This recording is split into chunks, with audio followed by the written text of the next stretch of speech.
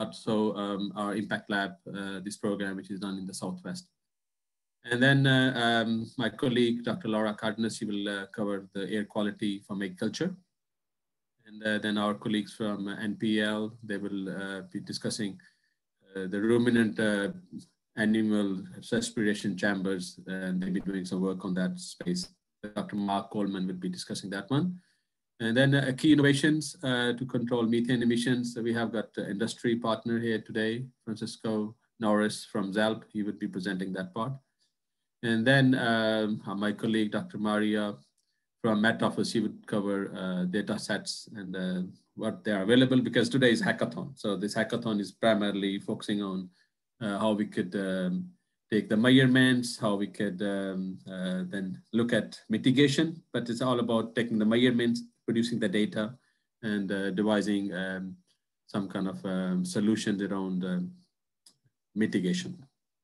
So three, uh, three breakout uh, sessions we have today, and uh, one is uh, covering the soil emissions, second one is crop emissions, third one is livestock emissions. So they will be facilitated by um, experts Dr. Laura Cardenas would be looking after the soil emissions from Rothamsted. Crop emissions would be looked after by Dr. Maria from Met Office. And livestock emissions would be uh, facilitated by Andy Duncan from uh, NPL. And then we have, uh, because the time was short, so we just only have five minutes for people to come back here to the main room and, and they, the facilitator would be supported by note takers and they would present uh, what they have discussed in those breakout sessions. And then at the end, uh, because this is this is a online event, so if you usually if you have a physical event, there's a chance to network with the people, but uh, in uh, it's difficult to have on online. But I think we have organized today to have a networking at the end, so people could stay later on as well. So thank you. I'll just go to the who is uh, here today. So I mentioned the name already. So uh, today's team is um, we are uh, six people here. I would say, or eight people. I would say yes, eight people here. And uh, so breakout sessions, three things we are covering. So soil emissions and crop emissions and livestock emissions. So, okay, I just give you a quick overview of Rothamsted, those who of you do not know Rothamsted. So we, are, we claim we are the oldest uh, innovation uh, institute in agri-tech sector, I would say. So our history goes back to 1843. So we run that experiment that's still ongoing. And then uh, Park Grass experiment and then work on pyrethroids and um, work on herbicides and uh, modern statistics, but we are talking about data science. So we have got uh, two campuses in the UK. So the main one is in Harpenden, second one is uh, in North Wyke. Uh, that's where we have got uh, facilities like Farm Platform. But I won't go in more details here. So our science covers uh, from, I would say, from, um, from molecules all the way to landscape. So from plant nutrition, plant health, soil, water, crop protection, and uh, computational sciences. We run programs on a five-year basis. So um, we do a lot of work around net zero. So this is again our bread and butter for uh, North Wyke Science and also over our Rothamsted. So a quick overview of uh, why Impact Lab and so why is this program is important. Uh, actually, we are planning to have this event last year, but due to COVID, uh, we couldn't uh, go ahead. So now we have a chance to work through uh, online. So this Impact Lab program was established back in 2017. It's a ERDF funded program. That's the last, I would say, program from the EU we, we're running here in the UK. So it's a, it's a program with environment futures and big data. It's led by Exeter University. And uh, we have seven partners, including Met Office, Rothamsted, University of Plymouth, PML, and uh, uh, Plymouth College of Arts, and Exeter City Future. And the program supports uh, in areas around advanced engineering, marine, health, agri-tech, and environment sector. And we are, uh, I would say, we got funding until June 2020. So the next slide. So what do we offer in terms of support? So I think I'll, I'll cover later on as well, but I think uh, Impact Lab provides businesses uh, support from 12 hours to R&D projects and uh, their small cash grants as well. So I'll just stop over here and let my, ne my next colleague to give us more details over to Dr. Laura Cardenas. Please share your screen. Thank you.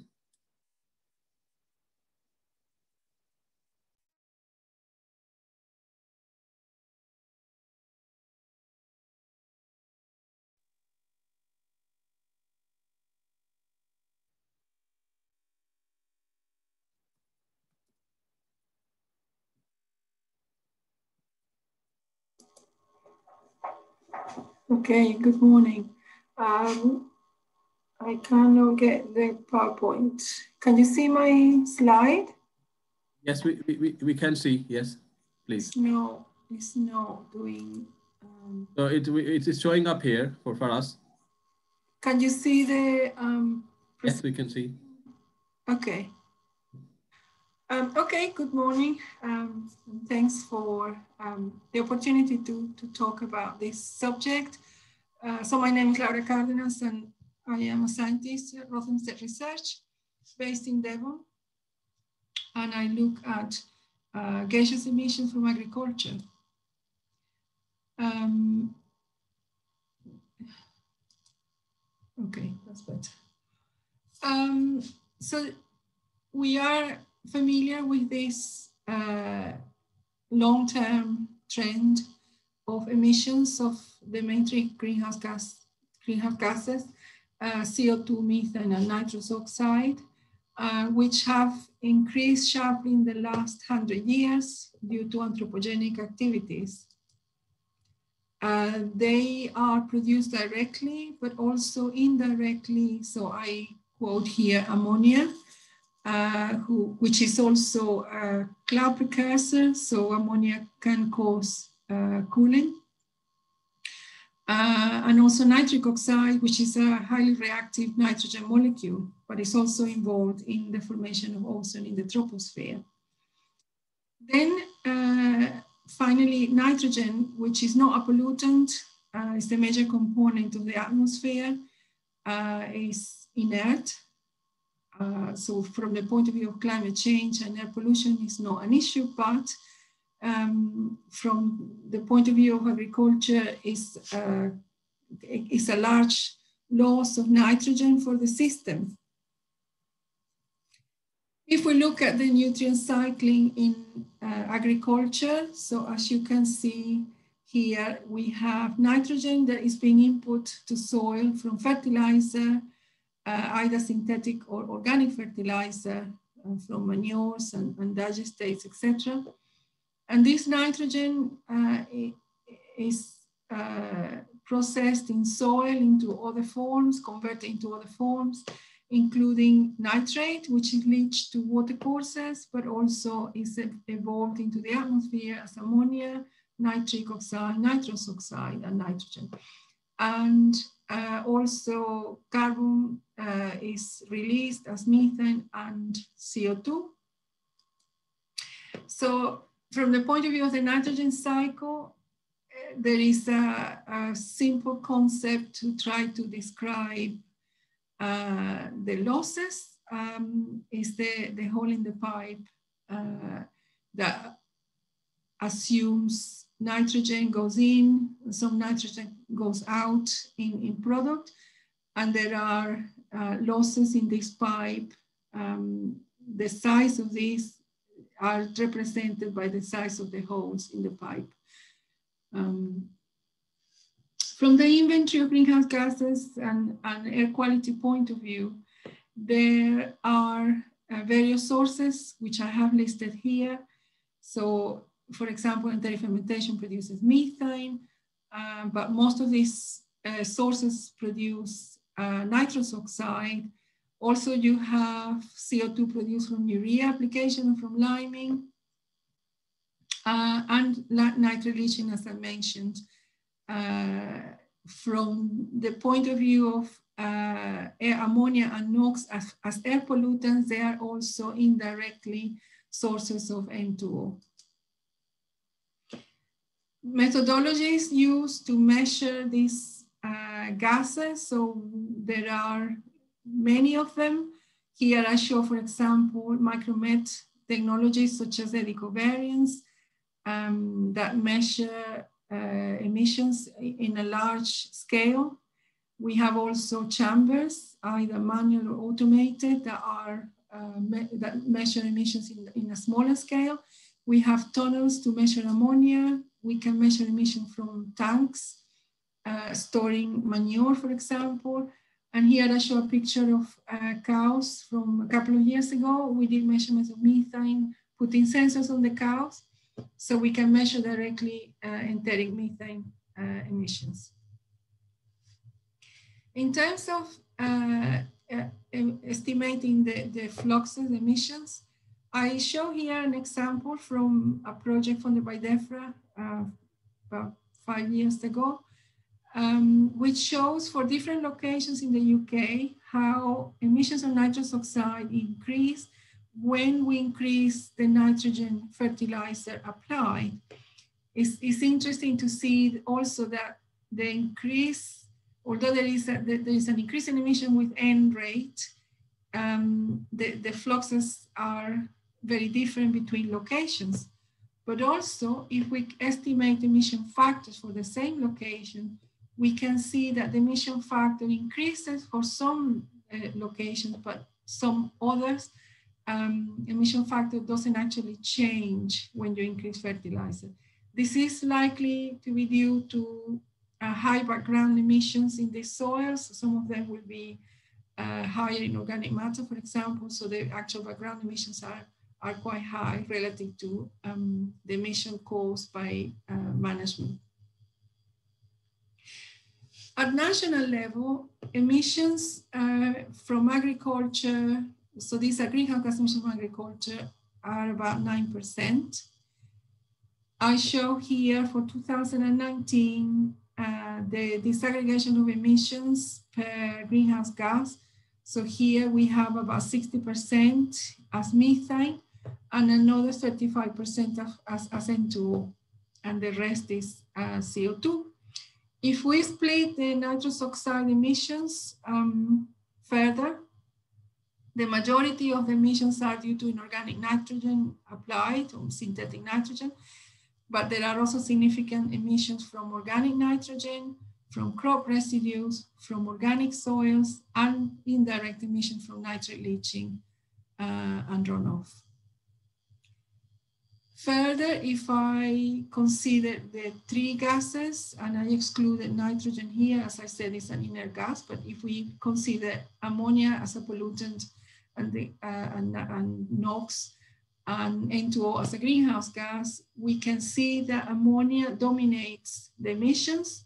So in 2019, over 80% of emissions were from ammonia.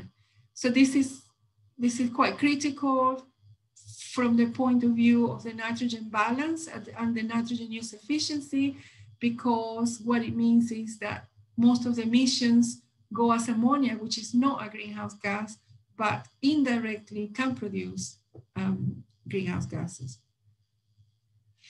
Another aspect that I wanted to highlight is um, the special disaggregation of, of, of emissions this is also from the greenhouse gas inventory and using uh, models to simulate emissions at um, national level, but considering regional emissions.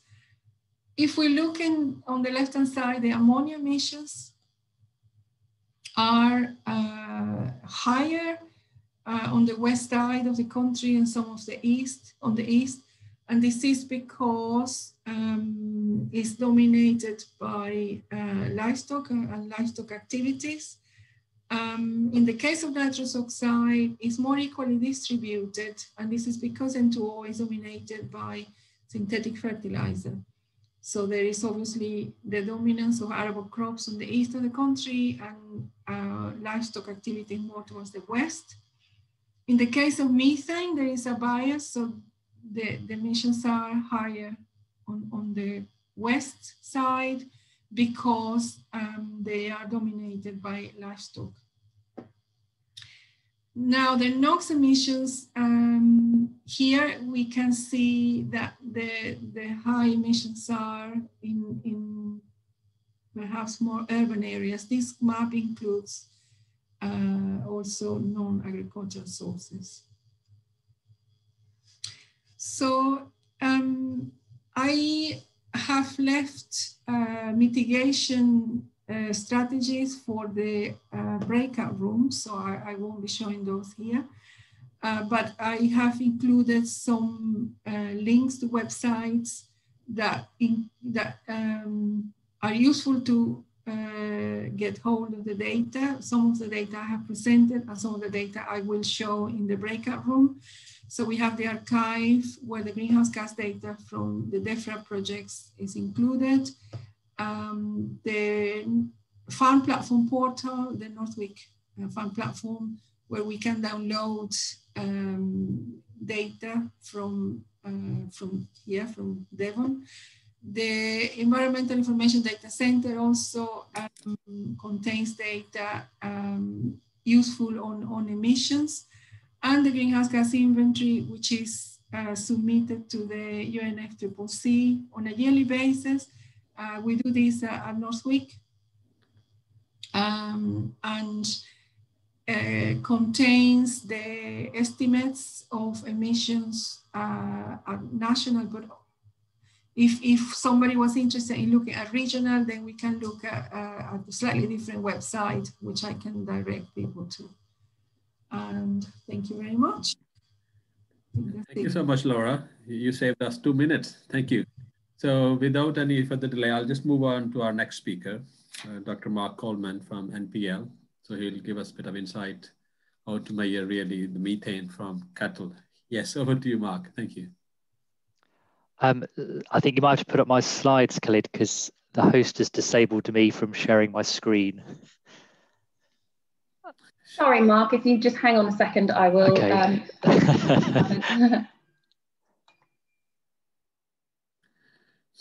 I just encourage participants to uh, put some notes or any questions or any discussions in the in the in the chat box. Sorry, it's my timer.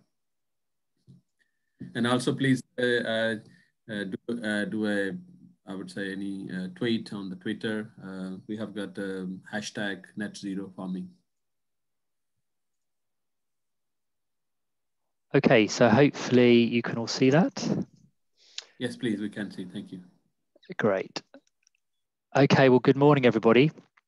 I'm from the Emissions and Atmospheric Metrology Group at NPL, and in my group, we've got about 40 scientists. Um, I guess agriculture is something that is uh, new, relatively new to us, in that we've been doing this kind of work for about the last uh, eight years or so. And so, what I've been asked to say a little bit about today is the calibration of ruminant animal respiration chambers. Um, now, I guess that um, probably some of the people on the call do know what respiration chambers are, but maybe some don't. So, just for the benefit of those that don't, this is a quick schematic I drew up of how pretty much every respiration chamber operates, give or take. So, within the chamber, um, you have your ruminant animal, and that's obviously a, sealed system. You've got intake air coming in through some input duct, and then air being taken out with the uh, emission through an extract ducting. This is normally where you position a flow meter in order to measure the flow. Also in the extract duct, normally there's a, a sample pipe, like a quarter inch pipe that is pumping gas out of there and taking it to the analyzer which for methane is normally an NDIR type analyzer. So through the combination of the concentration measurement here and the flow measurement in your output ducting, um, you can get a, a grams per day figure for the ruminant animal that is under test. A typical facility would probably have one analyzer and something like four chambers. And so the analyzer is kind of spending maybe something like two minutes on per chamber and then switching to the next one and going around like that. But also importantly, would also be switching to making a background measurement because you, of course, need to account for your background methane in ambient air that's coming into the chamber. Now, for a lot of people who are sort of involved uh, in researching into ruminant animal emissions, they kind of refer to these kind of facilities as the gold standard for measuring ruminant animal emissions. And this, I think, is sort of partly because you know your animal is in a sealed system, so you really ought to be capturing um, all the emission coming from that animal. I think on some of Laura's slides, you probably noticed, um, you know, measuring animals obviously out in a grazing environment is a much more challenging measurement scene, and it's much more easy to kind of miss some of the emission that you're trying to measure. In terms of how these facilities are controlled, um, most operators would have some kind of in-house control in place, which is colloquially referred to as a gas recovery test. And what they're doing with this is they're replacing the animal with a cylinder of methane, opening that up and making a release. And so the facility is giving you a reading on how much methane it thinks you've released. By weighing that cylinder before and after, you can, of course, work out how much you have actually released and compare the two figures to get an idea of your chamber uh, capture efficiency. So that's what is happening on sort of a, a local level, uh, and people do a good job of that. But what it's always been quite difficult to do, of course, in this kind of subsector is kind of consider what is the comparability between different facilities. Because, of course, if you're doing, uh, I don't know, a set of experiments, if you're doing some kind of food additive um, for a herd of cattle, and you want to understand how that changes the emissions, it's important that utility uh, you were using. And so that comparability is really important. And I think it's also becoming increasingly important to understand that as we're kind of in this uh, era now where scientific data is more readily questioned or even dismissed by people.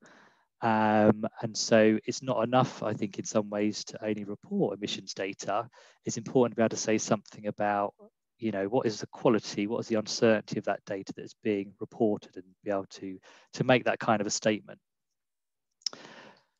So one of the things that we have done, um, and this is actually under a DEFRA funded project, and we published the results in 2015, so sort of data was acquired for this about eight to nine years ago, was we went round uh, four, sorry, five uh, UK respiration chamber facilities and carried out releases of known amounts of methane in those facilities. And so we basically set ourselves up as a, as a transfer standard to carry out that that into comparison. What we found going across those five facilities is a comparability or spread, if you will, of a touch over 25%. One of the things that you can do, having found that, which is obviously not, not an insignificant finding, was you can start to correct for that.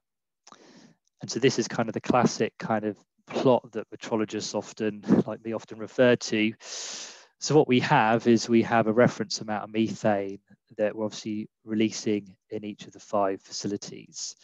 And you have then that, that measurement on a given facility. And so this is just kind of representing a facility that has a positive bias overall is, is uh, a little bit over reading uh, its methane measurements. And so that's your bias. The facility, of course, has some precision or, or noise if you prefer. You can't, of course, calibrate out noise, but you can calibrate any kind of bias. And so we can provide uh, a correction function for that. And so that can be done fivefold. And so in effect, what you're then moving is those precision curves uh, from the five facilities all onto this reference point. So you're, you're removing your bias down to hopefully negligible levels. You're left with your precision. You then, of course, have to make allowance because when we release methane, in any given facility. We can't do that to zero uncertainty. It's, it's sort of more or less impossible to do anything to zero uncertainty. So we have our own uh, bias and precision. So you need to take that into account. So when you take into account the bias and precision on the reference release, and then the precisions across the five facilities, that's how you get this number of a little over 2%.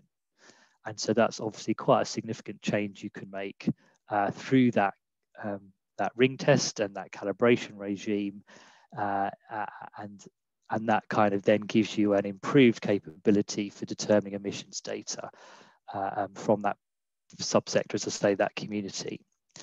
On the back of that work, we're now doing um, the same thing, but kind of on a larger geographical scale, in that we're now under a European project being funded to go around both UK and mainland Europe respiration facilities in order to carry out that exact same type of comparison. So it'll be very interesting to see obviously the kind of data that comes out of that uh, in due course. And I guess we'll probably be looking to put some anonymized data into the public domain uh, probably about two years from now. Um, last thing, just, just to note, uh, uh, this is an example of one of several letters that have been written by you know, key researchers in this field to editors of journals actually make, making this very case. And so this is, this is again following on from this work that we published in 2015. And they are imploring uh, the editors of journals to when they publish manuscripts from people that are acquiring data on respiration chamber type facilities, that those data should only be published if along with it they publish results from their quality control, their gas recovery tests and any kind of quality control steps that they've taken. And so it's it's very interesting to see how the community itself is kind of making that argument um, to move towards a more sound kind of metrological basis. So again, I think that's kind of a recognition that, you know, the way we combat scientific data being you know questioned or even dismissed is by actually saying we've done something to understand and measure the quality of the data that we have. Okay so that was a quick flavor uh, of some of the work we've been doing. Um, so thanks for listening to me. Uh, back to you khalid. Thank you so much mark. It's been, been very helpful to sort of uh, look at from a measurement perspective. So our next speaker is uh, francisco from um, from uh, a company that's basically doing this work already. So over to you, Francisco, please. Perfect, thank you. Just giving us a bit of the industry perspective.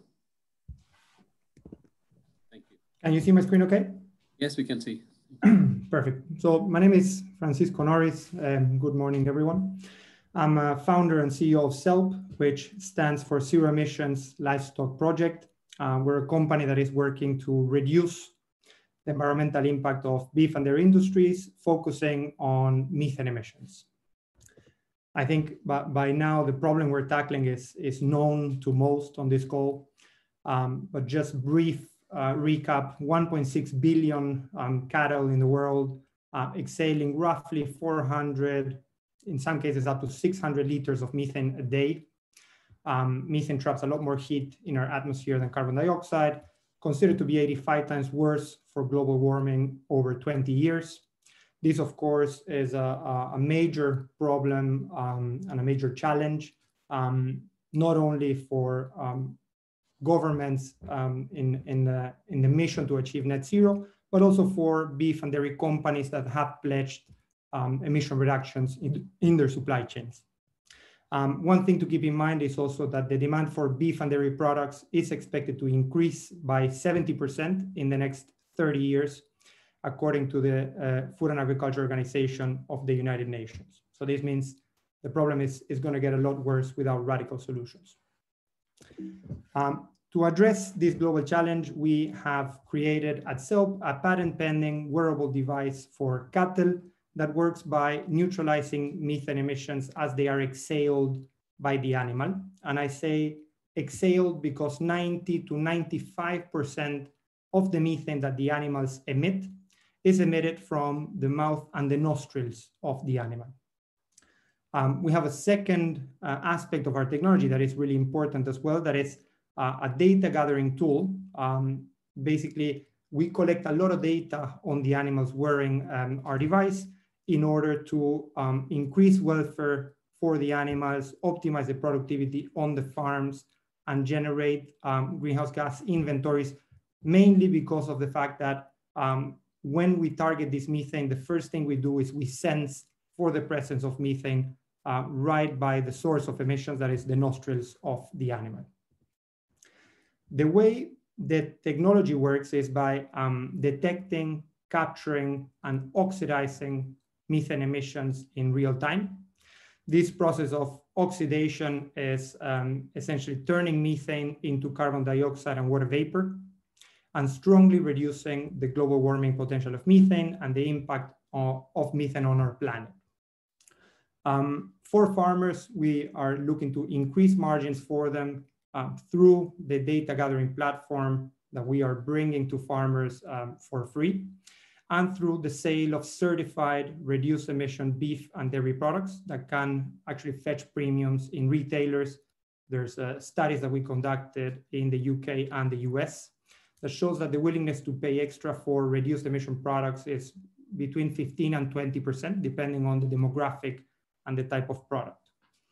For processors and food companies, we would offer um, strong emission reductions within their supply chain, which is something that for these processors is, is really important. Uh, we would do this in a, in a cost-effective uh, way, and we would offer companies uh, and processors the capacity to quantify methane um, in their supply chain. So basically helping them keep track of emission reduction goals in a way that um, up until this day is very hard for them to do. Um, for governments, um, the, the benefit is, is very similar. Um, we would help them create uh, methane inventories associated with the cattle population. Um, this is, is very important first to, to, to understand the scale of, of uh, uh, methane emissions in the agricultural sectors. I come from Argentina, which is a country that has a, a lot of, of cattle, as you can imagine, um, a lot more, more cows in Argentina than, than people. Um, so extremely important to, as a first step, understand um, how, how big this methane inventory associated with the animals is. In terms of the data that we collect, um, we collect data associated with the amount of methane that the animals produce. Uh, we are targeting to oxidize over 60% of this methane, which is uh, um, positioning us as uh, uh one of the strongest uh, mitigation tools um, in the market, hopefully by the time we launch next year. Um, also the capacity, as I mentioned, to track emissions in the supply chains um, is something really important and to create inventories on a per farm or region or national inventories of, of methane production. Um, we collect data on efficiencies as well because um, we compare the uh, methane readings with how much time the animals are spending eating, drinking, or ruminating. And this paints a really clear picture of how effectively the animal is uh, converting the feed into milk or mass. Animals would waste between 5 and 15% of the energy from the feed in the process of methane creation. And it's really important to understand which are the animals that are wasting 5 and which are the animals that are wasting 15%, not only from a, a climate impact, but also from an efficiency perspective. Um, the third vertical that we are collecting data on is welfare, um, because we track temperature, activity, uh, that is standing, walking, laying, methane emissions, um, time that the animal spends eating, drinking, and ruminating. We can correlate this hard data um, to find out early signs of disease, to find out heat, uh, but most importantly, to give farmers the tool to act on uh, particular conditions before they spread on the farm um, or, or uh, um, cause them uh, impact on their yields or returns. The way um, we would deploy this uh, next year, as we are expecting to launch it, is we were working with processors and governments. Uh, we would offer the technology to them, certify emission reductions for them in their supply chain. Um, they would distribute the device to the farmers, who in turn would give the processors uh, low emission produce. The farmer um, would have the, the possibility to um, access premium data if they choose to do that but they would always have a free version of um, our cattle tracking service that is available for them. Um, a final slide on um, the team that we have. We're a small team um, working across different uh, verticals in engineering, particularly mechanical engineering, software engineering, machine learning engineering, animal science, and chemical engineering.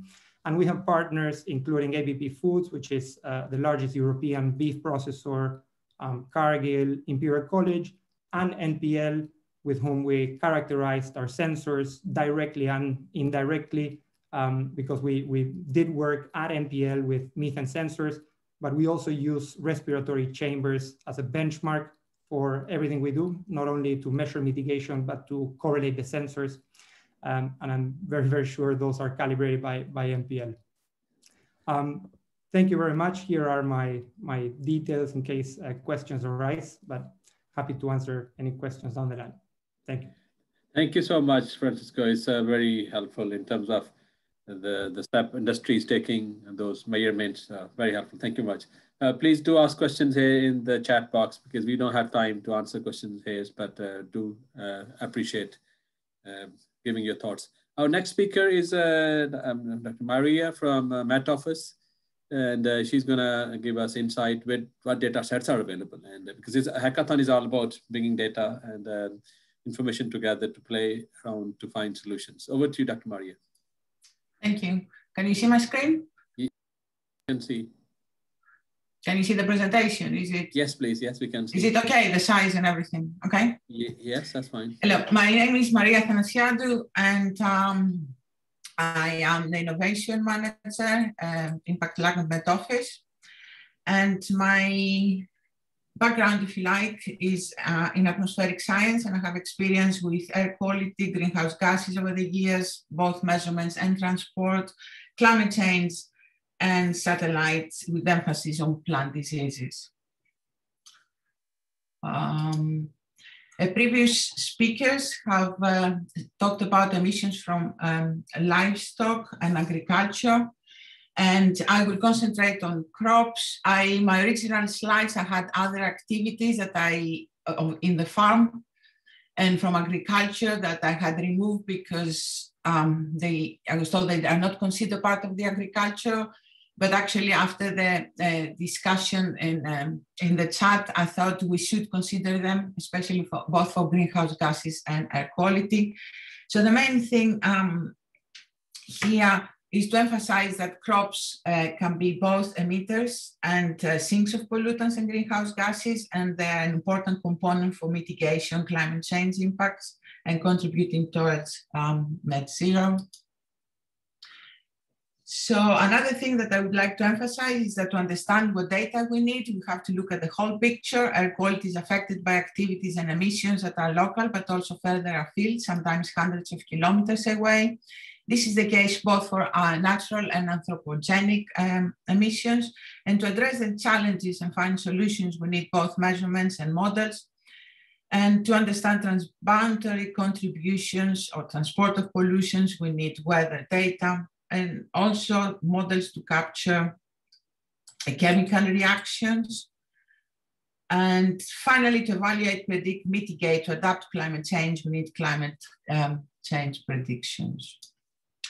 Uh, why climate change, in my thinking, is uh, important because it changes the environment conditions. Crops are growing, uh, like temperature, humidity, rain, also shifting seasons and other things. They change the um, changes that affect transport of the pollutants from one area to another and change and affect chemical reactions. Also, uh, plant diseases and pests. Uh, new ones are introduced in climates that they couldn't survive before and things like that, or travel more. And also, it's useful uh, to consider uh, when we consider adaptation mitigation strategies. Another thing is when to I try to understand observations, different um, they measure both local and transported pollution, and different instruments measure different things. For example, a sensor at the surface um, has um, a, a, range of a, few meters, um, and it's time of second, and it's only surface. Something measured from a satellite it's over a big column over the whole of the atmosphere, kilometers, and it includes emissions from various sources and also affected by meteorology like clouds. So the representativeness of the data you're using is very important to consider. And also you need the models that account for transport, modification along the road, combine information of various sources. So when it comes to data and information, I have compiled an a list of some, this is mostly for the UK, but not all, of information and data. Other sources of data, these are mostly sensors, so surface observations or models or reports. Um, the other important thing uh, of source of data, especially if you're interested in global, global coverage, is from satellites like Landsat that uh, can give information about the land surface and the vegetation, or sentinels that, um, like Sentinel-5 Tropomi, that you can measure greenhouse gases and, um, and air quality with various degrees, some better, some uh, less. Finally, we have data from models, both weather, climate, and air quality, and this is a list. There are already databases from like six years, and it's ongoing with global and high resolution UK data at 10 and 1 kilometer respectively of many parameters uh, of many parameters.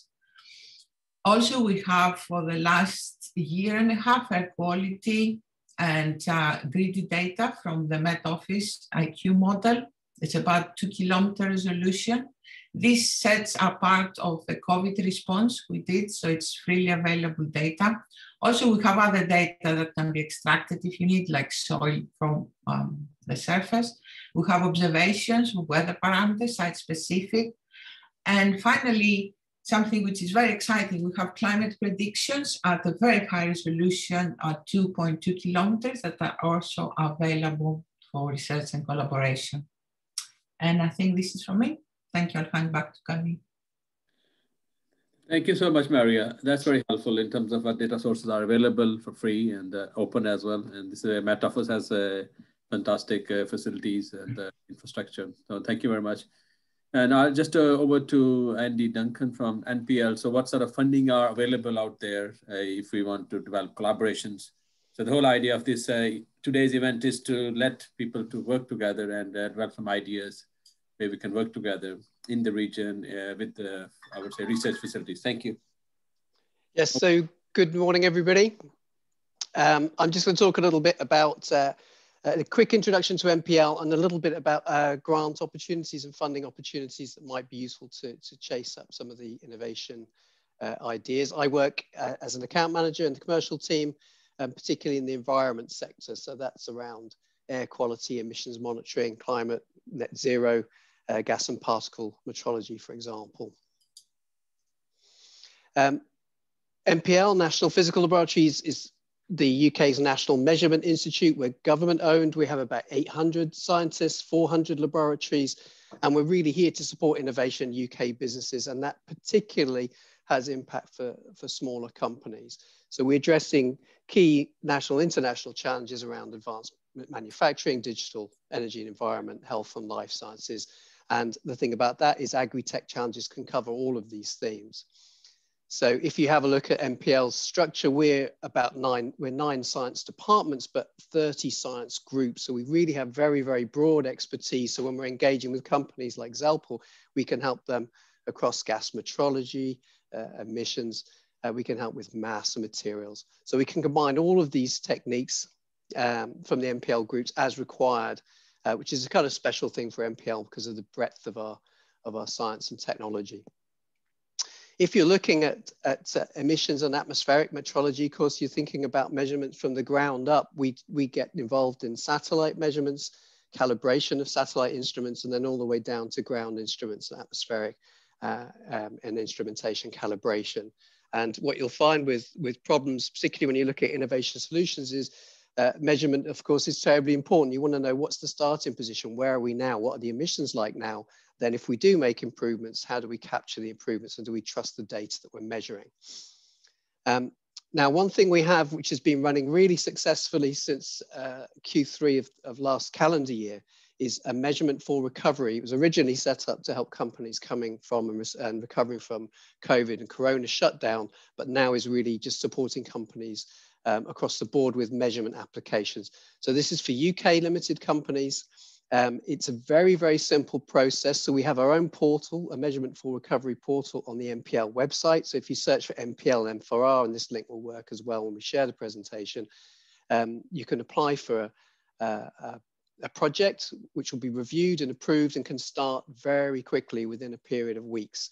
It comes from de minimis funding. So if you're a UK company, you'll have various grants. Some of that will count against your de minimis limit.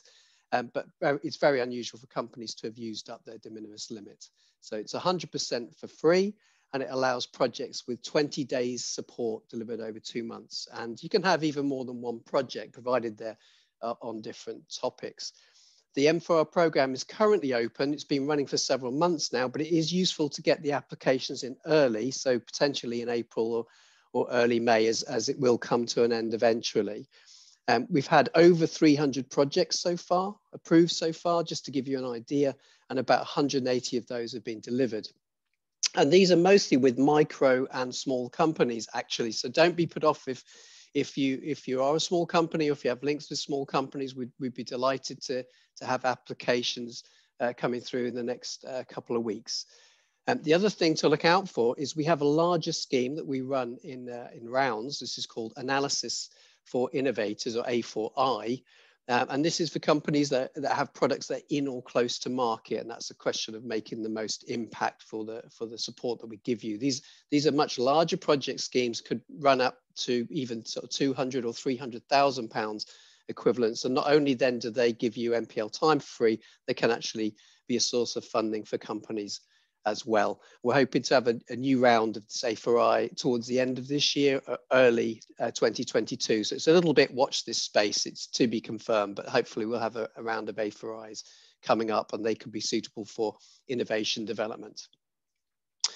The other thing I want to, to highlight is, are the Innovate uh, KTN networks. They're extremely useful. So the knowledge transfer networks run by, by the government team are set by a series of uh, science disciplines. And as with the uh, NPL science disciplines, many of these things could be agri-tech, sensors, for example, electronics, agri-food, of course, you know, chemistry, health, etc. So although I've highlighted here a link for the agri-food with respect to climate change from the KTN, um, it's worth following uh, grant funding opportunities across all of these science sectors. Uh, the KTNs, in addition, run newsletters, regular newsletters and events. So I would say uh, if you visit the KTN website, subscribe to the newsletters, they're extremely useful. They collate a lot of useful information and they always have the latest grant funding opportunities on there as well. So they, they're extremely well done.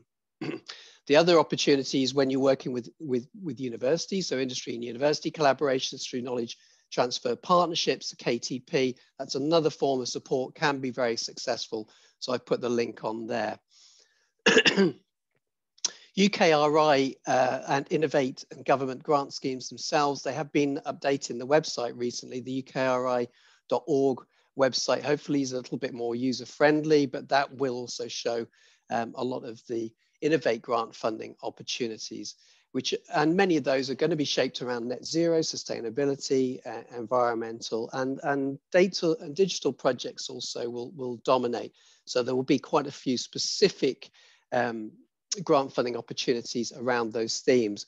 One thing with the Innovate funding opportunities is Innovate have said that if you have a good idea, they are open to to receiving that at any time you can apply for for uh, funding for a good idea without waiting for a particular scheme to have come up. So, um, and if you have some ideas as well, perhaps um, I can help you with that and, uh, and point you in the right direction as I know some of the Innovate uh, people and also sort of people helping with university grant schemes. So I've whizzed through that very quickly in the interest of time, but very happy for you to contact me at any stage and we'll share those, those details, particularly if you've got ideas for M4R projects in the short term. So that's all from me. Thank you, Andy, for highlighting the funding available in the UK. So excellent. Again, I mentioned in the beginning uh, because uh, the program we run, uh, the Impact Lab, so they have got uh, funding as well. But only limit is the companies have to have either interest in Devon or they're based in Devon. So please do get in touch with either me or Maria. So, but I think without further delay, we just move on to the next session, which is the, the key, uh, I would say the crux of the day is uh, the breakout sessions. So um, I'm just gonna ask here, um, uh, Emma, you have uh, posted all these links for uh, the breakout sessions, please. Would you mind showing them here? So we have got uh, four breakout sessions today. Uh, two, three, sorry, three. I'm sorry, my slip of tongue. So these are the three breakout rooms we have got here. So um, Emma is going to share here the links. Emma? Uh, you should be able to see them. Can you see them? Okay, let me see. So they are in the chat box. Yeah, if you go to breakout rooms, just down at the bottom, then you should be able to see them Sorry, down at the bottom of your console. I cannot see it in the chat. No, if you go to down at the bottom of your screen, Maria, yeah, the ah, breakout, breakout rooms, rooms, there you go.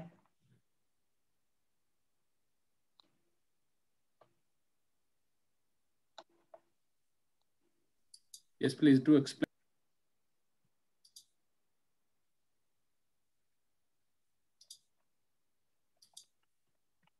So how do we go there? If you just select join next to the one that you want to be in on the right, there's a button. Ah, okay, I can see the join, yeah.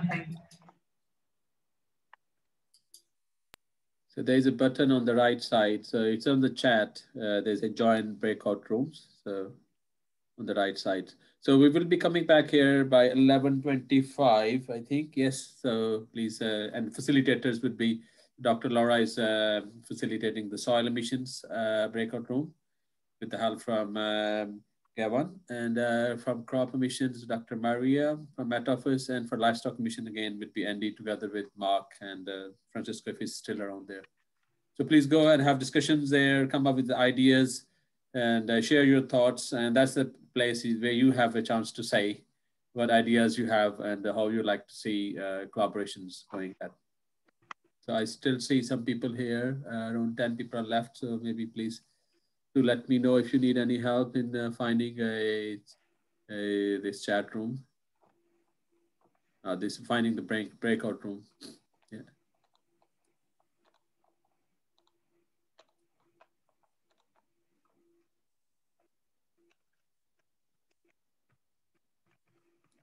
So until now, it seems like the soil one is very favorite and the livestock is favorite as well. So excellent.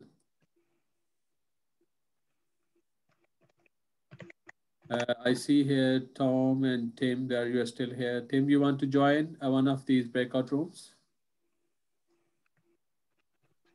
Uh, yes, uh, Khalid. I can't. I can't find the um, the join button. Sorry, I'm being stupid, I'm sure, but yeah. No, no, it's in the, it's, if you go in the chat box. So there Sorry, should, Carly. Yeah.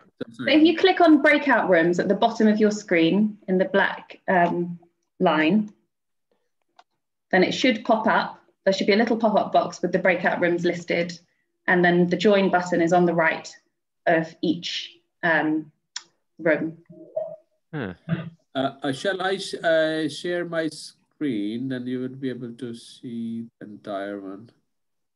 Uh, or Emma, you want to Just bear in mind that Khalid's view will be slightly different. So who am I speaking to?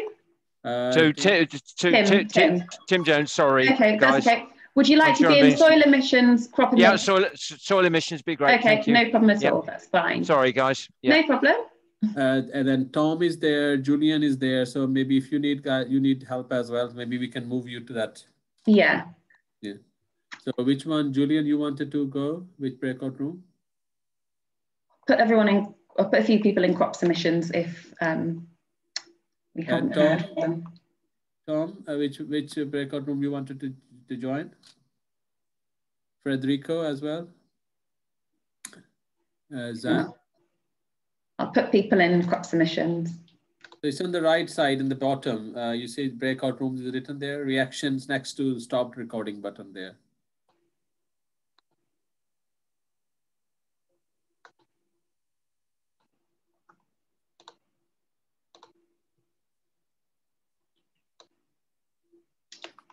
Right. So this session will stay on, uh, uh, Emma, meanwhile? Yes, yeah, I'm going to pause the recording and then I will start it again. Yes, I think, um, and we it, we had a, a, conversation. We were mainly concentrating on on the measurement side of things. I can share my screen actually, just to just. To okay, so you are the first to go. Anyway, excellent. yeah. If I go, if I go first, please. Um, it, it's not an awful lot of time in this uh, to to discuss everything, but we took um, some examples as well of of um, of sensor and dashboard solution um, from Hannah. Uh, so one of the things we were looking at was around around the measurement of the emissions. How do you measure the emissions and uh, what, what low cost sensors might be available? So certainly NPL and other places, we, we're looking at how do you incorporate low cost sensors? What should there, should there be a, a kind of a, a, a protocol for, for these and how should that be rolled out? Could that be rolled out nationally?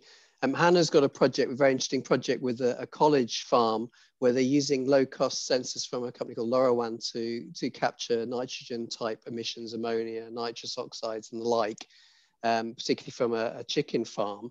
And the, the, very interesting aspect of that is they also ha they have a dashboard for reporting the emissions. So the farm farmer or the farm manager can actually see the emissions uh, perhaps reported on a half hourly or, or, or um, something like four hourly basis.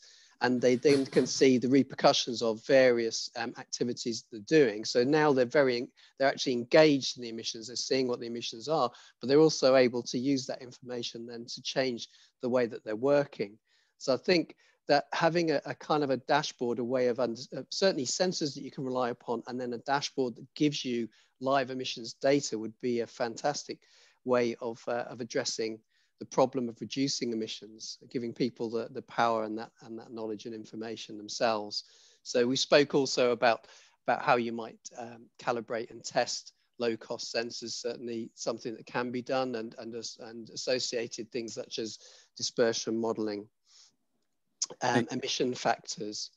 Um, we, the farms themselves, whether they're not necessarily uh, have mandatory or statutory reporting locally, um, it could be possible that, that some of the larger businesses, such as processors, could be involved in, in, in rolling out affordable sensor systems. So the question is, is, is how do we capture the, the emissions that we're having now? And then we can use that information then to bring in mitigation steps and understand how effective they are. So really we spent uh, most of the time in and around discussing sensors and local data reporting. But this example that Hannah had, had given was a, was a very a good one of how her sensor system in association with the dashboard could help a college farm. But the question is, can other people do this sort of thing? How would it be rolled out? Could we have government assistance to uh, perhaps to, to roll out these sorts of systems in an affordable way?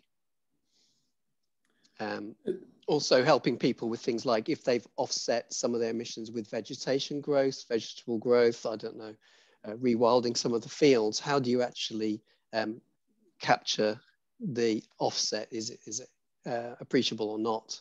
So um, farmers might be doing the right things, but it may be very difficult to know what sort of effect those things are having. So farm into comparison projects also something we're looking about um, how emissions for farm into comparison and, and all other measure, measure, measurement methods. So uh, the main mitigation step we looked at was from Hannah actually. I don't know if anyone else who's in the room would like to add anything. I apologize if I've missed out some main things.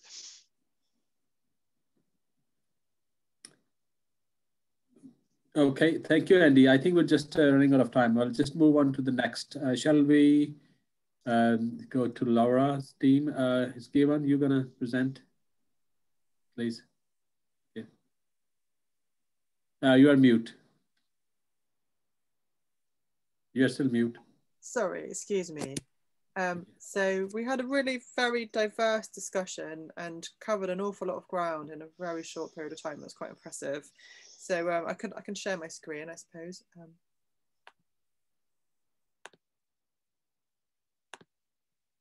some quite rudimentary notes on here because I was actually taking notes by uh, on on my notepad. Um, so just as a kind of summary of the discussion, um, initially we uh, had an interesting point made about the actual the the heavy machinery impact on soil compaction, which is not um, and heavy machinery is not included in the agricultural greenhouse gas emissions directly from production. So that's a very interesting point. So it points the need for a whole systems um, approach when looking at um, at emissions, but also in terms of looking at solutions, that there's a, obviously potential to explore methods to mitigate soil compaction from machinery, um, particularly looking at innovation around precision um, machinery that seems to be coming forward. So there's clearly a sort of research gap there that, that needs a lot of work.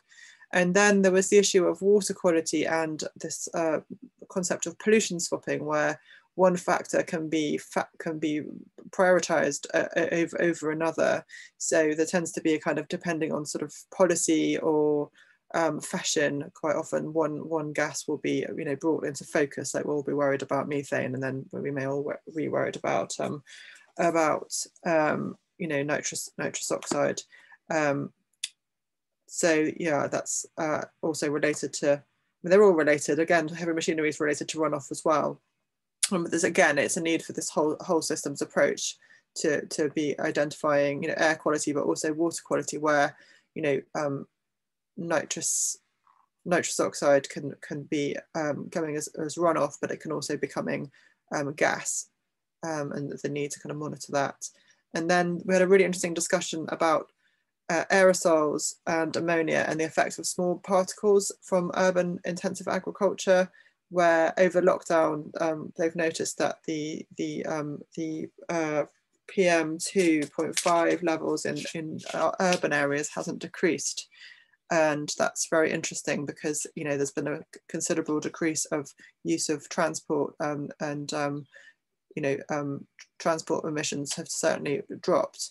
So it, it looks like there may be um, influence from the continuing, not just urban intensive agriculture, but also probably national agriculture and um, the impact of, of, of, other particulates, small particulates such as pollen and so on.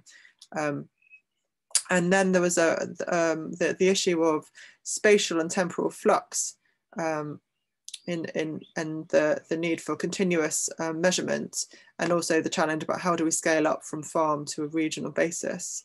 So remote sensing is an interesting solution to explore in this, in this um, area to look at continuous measurement, for example, the use of NDVI as an indicator of greenness to locate areas of high urination.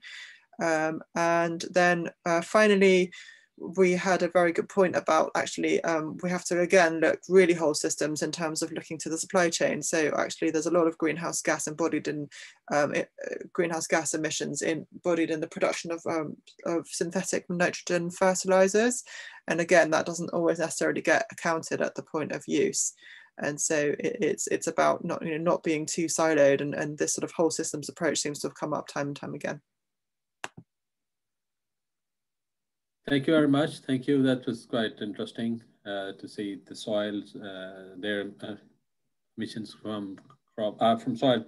And again, because we'll have the second uh, hackathon with that specifically uh, dealing on soil emissions and water emissions. So you mentioned nitrous oxide and nitrates, nitrates leaching into the, into the water.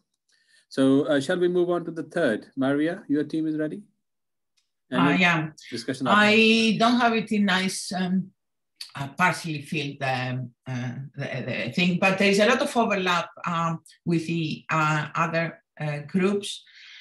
Um, one of is how do you measure emissions from crops? There was interest in particular about um, focus on potatoes, for example. And one of solutions is, you know, methodology, but also sensors in the farm. So something that Andy has touched. And the general idea about not only emissions from agriculture, but capture, um, there are other activities, like with potatoes, for example, you have a lot of waste, or how can you, if you do something to mitigate that, should it count, would that count about reducing your, you know, achieving your net zero targets, for example? Also associated with transport or storage for a long time. How do you calculate these things in an informed way? And uh, so um, advice and things on that. And the other interesting thing was like um, information about weather uh, conditions 10 days ahead, for example and sensors to measure. So the solution would be ideally uh, to know the state of the plant and the needs of the plant and the soil and the weather ahead. So you know how much and if you even need to use fertilizer. So that this way, by being intelligent, smart farming, if you like, you can reduce your emissions from the plant. Again, sensors, chip sensors to measure the state of the plant and an app that combines that with weather information would be great.